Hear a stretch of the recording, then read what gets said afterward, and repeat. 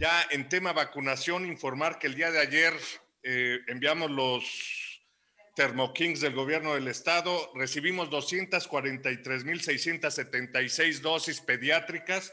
por lo que el día lunes 19 y hasta el jueves 22 vamos a estar aplicando las segundas dosis para los grupos etarios de 5 años a 11 años, 11 meses en Puebla Capital y 14 municipios más de un horario de las 8 de la mañana a 3 de la tarde, eh, los municipios Atlisco, Huejotzingo, Coronango, Cuautlancingo,